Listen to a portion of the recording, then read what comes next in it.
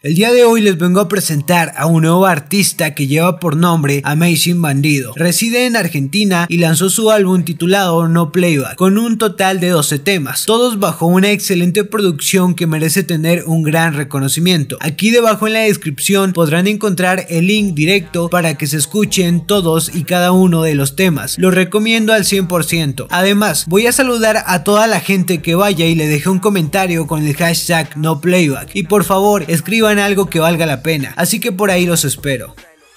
Llegó fuera de plazo, cortó como un arraso. Vine sin pan bajo el brazo.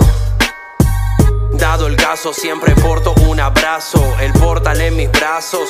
Una corrida a los ponchazos, salidas en... Como saben, el día de ayer una persona, o mejor dicho varias personas, se pasaron de verduras y violaron la privacidad de algunos artistas como Duki, Isia, Dillon y al parecer unos cuantos más. Se desconoce la identidad de estas personas, así como también se desconoce el método utilizado para lograr hackear las cuentas de WhatsApp. Solo se sabe que viven en Argentina, ya que Dillon por Twitter filtró el número de una. Se desconoce también el motivo por el cual realizaron esto. Al parecer fue solo para joder, ya que uno de ellos se la pasó pidiendo saludos, así que bueno, a continuación les voy a mostrar los videos que Duki, Isia y Dillon subieron a sus redes para dar a conocer a sus contactos que si algo inusual sucediera no era responsabilidad de ellos me hackearon el WhatsApp, así que nada, les aviso a todos que si le hablan de mi WhatsApp haciéndose pasar por mí, no soy yo, tengan cuidado, no me respondan.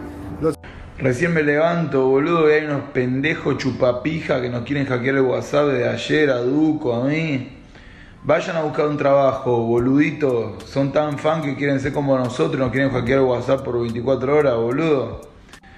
¿Qué pasa? Están de vacaciones en el jardín y no hasta que llega marzo las clases de vuelta no saben qué mierda hacer, boludo. Nosotros trabajamos, yo con el celular trabajo, no estoy mirando Backyardigan, pelotuditos. Eh, amigo, para todos los hackers ahí que nos hackearon los WhatsApp a todos.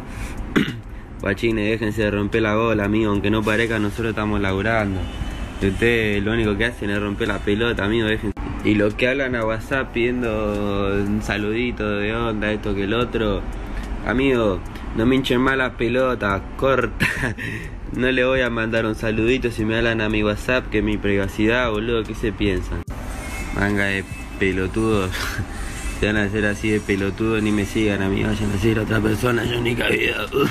Claramente, como era de esperarse, se enojaron demasiado y es súper entendible, ya que violar la privacidad de una persona es molesto, además de que va en contra de la ley y puede tener consecuencias muy graves. Gracias a un par de personas cercanas al hacker, sé que hackear una cuenta de WhatsApp es relativamente fácil y literal cualquier persona lo puede hacer. Esto me lleva a que se busquen métodos para que se pueda evitar este tipo de situaciones y también a que WhatsApp mejore su seguridad. Supuestamente, estas personas tienen una versión modificada de la aplicación en la que para ingresar a una cuenta de WhatsApp el código de verificación no es necesario. Además, como estas personas saben bien que invadir la privacidad de la gente va contra la ley, utilizan otra aplicación que logra modificar su dirección IP y con ello su ubicación es cambiada al momento de hackear las cuentas. Si alguien sabía de esto y conoce el método para evitarlo, me encantaría que lo compartiera para que así la gente se despreocupara de que en algún momento logren invadir su privacidad. A mí, por ejemplo, no me gustaría para nada que me sucediera. Así que nada, de mi parte esto sería todo, gracias por ver el video y nos vemos en el próximo.